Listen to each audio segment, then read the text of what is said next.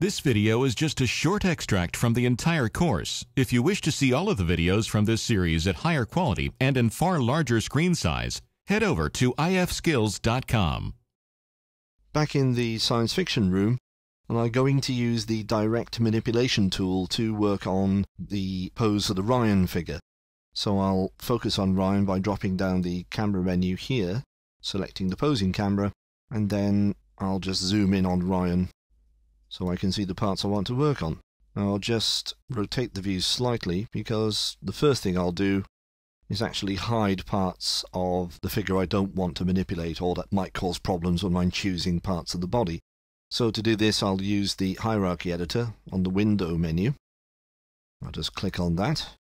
And I want to make the mech arm right disappear, so I'll just click on the eyeball icon there.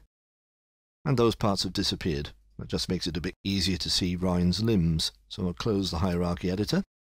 And I'll select the shoulder here, rather the shoulder of the figure itself.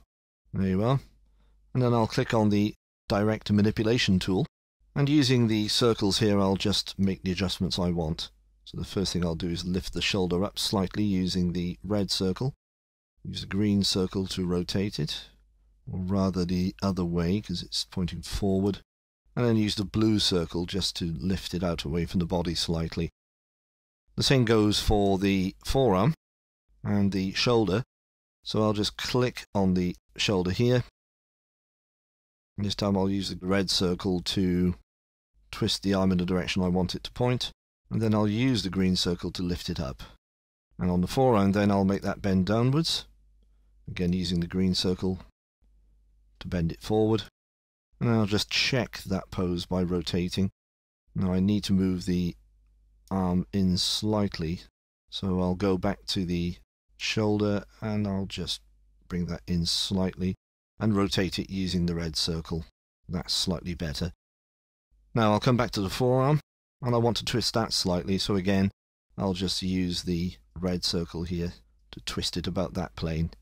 Now I'm going to be doing more to the hand a little later, so I'll leave that for the moment.